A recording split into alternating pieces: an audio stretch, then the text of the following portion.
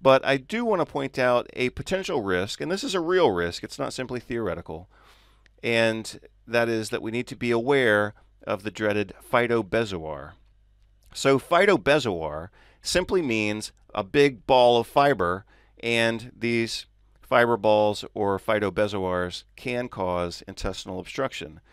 Risk factors for the formation of a phytobezoar include gastrointestinal surgical procedures, adhesions, and therefore, of course, we'd have to include endometriosis, diabetic gastroparesis, autonomic failure, and any other cause of GI motility disturbance, including dehydration, advanced chronology, meaning as people get older, everything tends to get a little slower, so that's what I call here advanced chronology. Constipation, hypothyroidism, and some medications, of course, can also slow down gastrointestinal transit and motility. Phytobezoars can be caused by any high fiber food, especially with dehydration and or gastrointestinal motility disorders or gastrointestinal adhesions, such as following surgery, major injury, or endometriosis.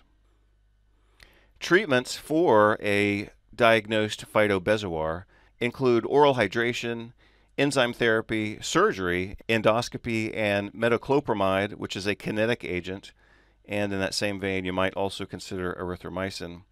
And maybe you wouldn't believe it, but yes, Coca Cola is one of the treatments for phytobezoars. I was quite surprised to learn that when I first read about it.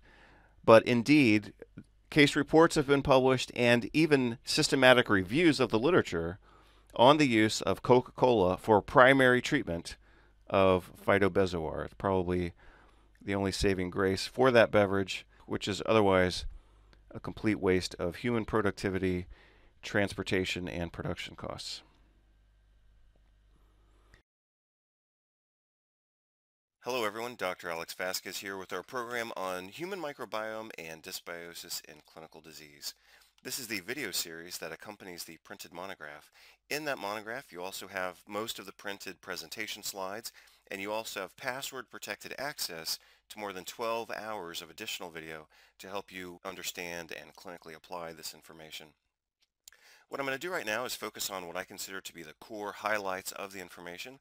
I'll walk you through some case reports so that we can apply that information clinically because of course the emphasis of the program is the translation of basic sciences into clinical practice. You'll find this to be particularly relevant for patients with diabetes, obesity, insulin resistance, and cardiometabolic disease, fibromyalgia, chronic fatigue syndrome, which has recently been renamed systemic exertion intolerance disease. Also, I will discuss some neuropsychiatric conditions such as autism and chronic pain and depression. And of course, major emphasis will be placed on the autoimmune and rheumatic diseases such as psoriasis, rheumatoid arthritis, lupus, Sjogren syndrome, and multiple sclerosis. This slide provides a listing of the core content, and you might also use this as a mental checklist. We start with a pretest, and that allows us to assess baseline knowledge. It also allows us to assess the overall effectiveness of this learning program. Then we have the printed monograph, and then of course now we are entering into the video series and the video presentations. After we've gone through the pretest, the printed monograph, and the video presentations, then we access the final exam and that gives you a chance to complete the program and print off your certificate of achievement. So again, taking our focus back to the video presentations, we're starting right now with number one, which is pathophysiologic mechanisms. I'll also talk about microbes, molecules, and morphology.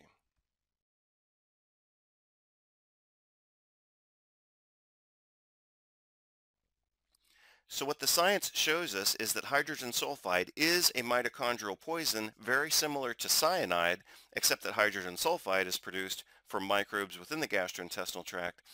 So we want to consider addressing this component anytime we're dealing with a patient who has what I call dysbiotic mitochondriopathy. So this is a mitochondrial disorder caused by dysbiosis because now we have evidence very clearly that these gastrointestinal bacteria can produce mitochondrial toxins. D-lactic acid is a mitochondrial toxin produced by gastrointestinal bacteria. Hydrogen sulfide is also a mitochondrial toxin produced by gastrointestinal bacteria. And I showed you earlier that endotoxin from gram-negative bacteria also produces mitochondrial dysfunction. So I think many of you will find interest in the fact that you can bind or neutralize hydrogen sulfide by using a specific vitamin, and I'll show you that in just a moment. Let's substantiate this concept just a little bit more before we move on to clinical applications. Microbial pathways in colonic sulfur metabolism and links with health and disease. You can see this was published in Frontiers in Physiology in November of 2012.